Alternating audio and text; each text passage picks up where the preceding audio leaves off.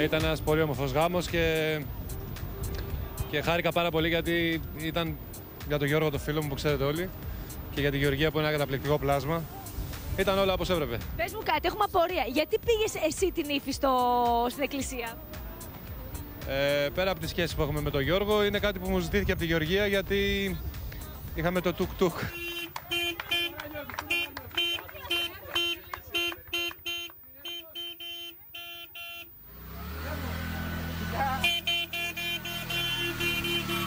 Να πω και στα δικά σου.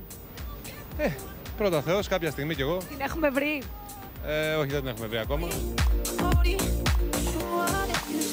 Η Γερονικολού είπε ότι φο- φυλάς ωραία. Ε, ο Στέφανος Λαμπύρης φυλάει ωραία από ό,τι φαίνεται.